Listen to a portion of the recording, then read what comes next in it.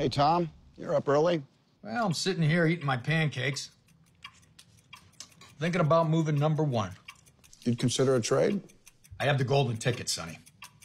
If I give it to you, you get to say football in Cleveland. This is the draft day Browns fans were waiting for.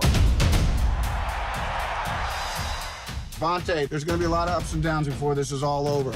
Try and keep a sense of humor. Ah, I need you to make a splash, Sonny. And if you can't do it, then I have to do it.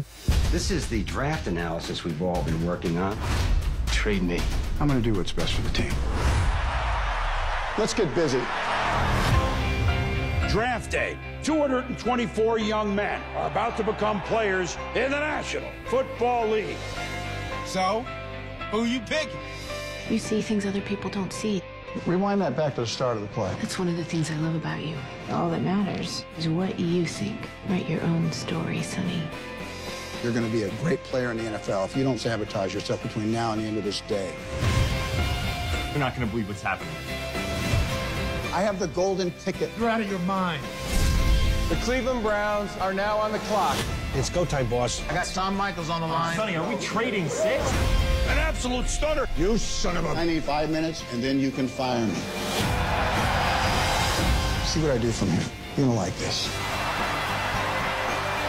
I love this job.